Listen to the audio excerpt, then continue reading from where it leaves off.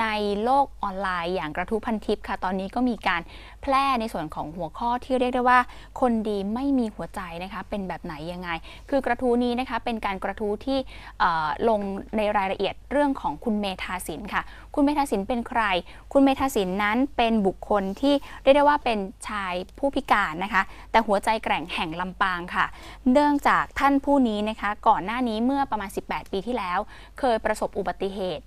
จาก การที่มีบุคคลที่เมาแล้วขับอืมชนเขาครับทำให้พิการต้องนั่งรถเข็นนานถึง 18 ปีค่ะ แต่ว่าในระหว่าง 18 ปีนั้นคุณเมธาสินเองก็ใจสู้แล้วก็ต้องการที่จะช่วยเหลือสังคมนะคะ โดยการเข้ามาร่วมกับมูลนิธิเมาไม่ขับของจังหวัดลำปางค่ะครับมาช่วยเรื่องของการประชาสัมพันธ์เผยแพร่ต่างๆ ให้คนที่เมานั้นอย่าขับรถนั่นเองนะคะ แต่ว่าในขณะที่ทำการร่วมการรณรงค์ประชาสัมพันธ์ ล่าสุดค่ะ วันที่ 27 ธันวาคม กลับประสบอุบัติเหตุอีกครั้ง ซึ่งซ้ำรอยเดิม ก็คือโดนบุคคลที่เมาแล้วเนี่ยยังจะขับรถอีกมาชนเขาซ้ำสองแต่คราวนี้นะคะเรียกได้ว่าก็โดนหนักขึ้นกว่าเดิมครับเพราะว่า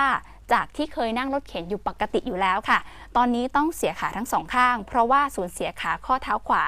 รวมไปถึงกระดูกบนขาเนี่ยคือหักอีกรอบหนึ่งครับคือซ้ำ ซ้ำซ้ำซากนะซ้ำรอยป็นเดิมนะใช่เป็นเป็นความรู้สึกที่โดนครั้งแล้วครั้งเล่านะคะ ดังนั้นแน่นอนว่าเมื่อคนที่ไม่ท้อแบบนี้ทำดีต้องมีคนที่อยากช่วยเหลือค่ะ ทางด้านคุณพิริยะทองสอนนะคะ ซึ่งท่านเป็นผู้จัดทำเว็บไซต์ของมูลนิธิเมาไม่ขับค่ะ ก็เลยจัดทำโครงการหมวกกันน็อกเด็ก เพื่อเหยื่อเมาแล้วขับซ้ำซ้อนนะคะ โดยหวังเป็นอีกหนึ่งช่องทางในการที่จะช่วยเหลือหารายได้ช่วยเหลือคุณเมธาสินค่ะ โดยการที่เอ่อ นำหมวกกันน็อกเนี่ยนะคะที่เห็นจากภาพก่อนเมื่อสักครู่นี้หมวกกันน็อกน่ารักน่ารักของเด็กนะคะมาขายโดยรวมกับเเงินจากมูลนิธิเมาไม่ขับด้วย มาช่วยเหลือคุณเมธาสินชัยลิ้นฟ้าอีกทางหนึ่งค่ะ เพื่อเป็นทุนในการรักษาพยาบาลรวมไปถึงเป็นทุนต่างๆ ในการที่จะรักษาเขา เพราะว่าตอนนี้ทางคุณเมธาสินเองก็คืออได้รับการรักษาในส่วนของพรบคุ้มครองของคู่กรณี เนื่องจากคู่กรณีที่ชนเนี่ยเสียชีวิตด้วย ไม่สามารถที่จะไปเรียกร้องกับทางคู่กรณีได้ แล้วก็ยังใช้สิทธิ์ในส่วนของสิทธิ์รักษา 30 บาท รักษาทุกโรคนั่นเองนะคะ ซึ่งในกรณีของกระทู้นี้ ตอนแรกเนี่ยที่ได้มีการไปสอบถามมา ก็คือปกติในเรื่องของการลงมูลนิธิหรือว่าลงในเรื่องของการขอเงินบริจาคในพันทิปเนี่ย จะเป็นข้อห้าม หรือเป็นข้อที่เรียกว่าเป็นเรื่องที่ละเอียดอ่อนครับเพราะก่อนหน้านี้ทางพันทิปเองก็เคยเจอกระทู้แบบนี้ แล้วก็มีการเรียรายเงิน ซึ่งบางทีก็ถูกบ้างไม่ถูกบ้างผิดบ้างนะคะ ในครั้งนี้ทางพันทิปแล้วก็ทางคุณพิริยะเนี่ยก็ได้มีการพูดคุยกันเรียบร้อยแล้ว แล้วก็คาดว่าภายในวันที่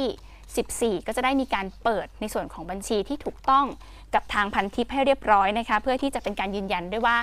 กระทู้นี้ของคุณเมธาสินนะคะเป็นกระทู้แท้จริงครับแล้วก็สามารถที่จะบริจาคเงินกันเข้ามาได้ค่ะ แต่ว่าตอนนี้ถ้าใครที่อยากจะบริจาคเงินณขณะนี้นะคะก็คือสามารถเข้าไปที่บัญชีสนับสนุนหมวกกันน็อกเด็ก เพื่อเหยื่อเมาแล้วขับซ้ำซ้อนนะคะ ชื่อบัญชีของคุณพิริยะทองสอนค่ะ ธนาคารกรุงเทพนะคะ เลขที่บัญชี 233-027-8991 นะคะ เป็นบัญชีออมทรัพย์ค่ะ หรือว่าสามารถติดต่อสอบถามข้อมูลได้ที่ 0813103505 นะคะ อีกบัญชีหนึ่งนะคะ ของคุณภรรยาคุณเมธาสินนะคะ เป็นธนาคารออมสิน สาขาลำปางค่ะ เลขที่ 02007 3853721 นะคะ ก็คือสามารถ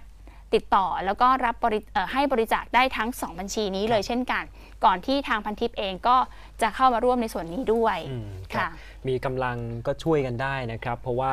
การที่เกิดความพิการจากกรณีเมาแล้วขับเนี่ยมันไม่ใช่เป็นเรื่องเล่น ๆ เลยนะ คือนอกจากตัวคุณเองจะได้รับบาดเจ็บแล้วคุณยังไม่ทำให้คนอื่น พิการแบบนี้ด้วยแล้วก็โดนมาแล้วถึงสองครั้งอะใช่ค่ะแล้วก็ถือว่าเป็นบุคคลที่ เขาเรียกว่าใจสู้นะครับเพราะว่าอยู่บนรถเข็นถึง 18 ปีอืมแล้วมาเจอเหตุซ้ำแบบนี้นะคะ ก็ยังคงใจสู้อยู่ต่อไปยังไงก็ให้กำลังใจกับคุณเมธาสินชัยลิ้นฟ้าท่านนี้ด้วยนะคะครับ